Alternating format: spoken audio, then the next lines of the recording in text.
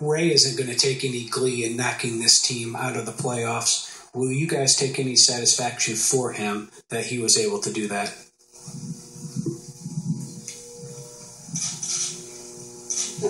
Um, uh, no, we're just excited to be able to move on.